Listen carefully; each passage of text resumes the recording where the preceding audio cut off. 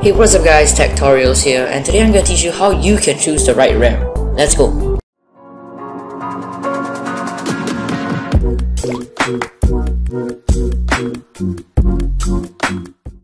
The first thing you need to understand is that RAM is determined, the type of RAM that's compatible with your computer is determined by three factors. The speed of the RAM, the capacity of the RAM, and the type of RAM. We want to keep these three things the same so that we can buy compatible RAM sticks with your computer. So to check what type of RAM your computer currently uses, you want to go into uh, CPU-Z and you want to download this software. This software tells you all the specifications of your computer, from your motherboard to your RAM to your CPU and it's quite good check what your computer is. Anyways, once you download it, you want to open it right now and you want to go into the memory section.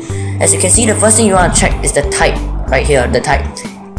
Mine is DDR2 RAM there are four different types of RAM that you need to know. DDR1, I mean DDR, DDR2, DDR3, DDR4. And the higher the number, the better the RAM type. So in my case, I have quite an old PC, so it can only support DDR2 RAM. So when I buy RAM sticks, I always have to make sure that I'm buying DDR2 RAM. So that's the first thing you want to check.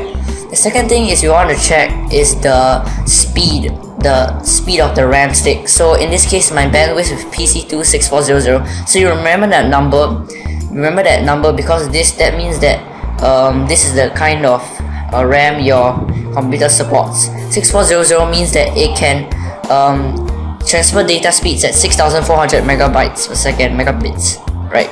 Anyways the, the third thing you want to check is the RAM stick size. So my total RAM is actually 4 gigabytes over here but you don't want to look at that. You want to look at each individual RAM size. For example um, I have two slots I have two um, RAM sticks right now and each of them hold 2 gigabytes so it's a total of 4 gigabytes. But the thing is you want to since one stick in your computer holds 2 gigabytes you want to buy uh, more sticks that also hold 2 gigabytes. You don't want to buy like uh, sticks that hold 4 you want all the size um, all the capacity of your RAM sticks to be the same to uh, maintain maximum um, compatibility right so let me give an example. If you have one stick of 4 gigabytes of RAM, one stick only, then you can buy other sticks that also uh, have a capacity of 4 gigabytes of RAM to maintain compatibility. Then what you want to do is you after you know all the stats of your computer, it's quite easy. You want to go into a place, let's just say Amazon because um, that's the place you can buy RAM from. And you want to go to Amazon or any other place, it doesn't matter. You want to type in um, DDR2 and then you want to type in PC26400 so it's the type of RAM with the with the uh, bandwidth with the speed. So you can tell there's a lot of DDR2 RAM over here with PC26400 and one more thing I forgot to tell you is that you must check the size of the RAM as well. The size of RAM matters a lot because if you buy the wrong size it will not fit right so for normal computers, for desktop computers like the one I have, um, they will always use 240 pin desktop RAM because that's the full size RAM. But if you have a laptop, you might want to check with the um, manufacturer's website or ask online and search online what type of RAM. Usually they use SD RAM, but it might not be the same for your computer. So yeah, right here, this SD RAM is usually for laptops, but I'm not, I'm not um, I'm not gonna confirm that for you. You should go check your website. Anyways, for desktop, you wanna search for 240 240 pin, and you wanna make sure that the RAM you're buying ha has the same size as the RAM that you have in your computer right now. So two gigabytes, that's right. Uh, DDR2 is correct as well. PC2640 is correct, and the size is correct. So this is the type of RAM that will be compatible with my computer. Your mileage may vary. You will have a different computer. You will have a different size. You will have a different speed. You will have different capacity it's like not all computers are the same. Anyways, if you manage to find the right RAM for your PC, that's good.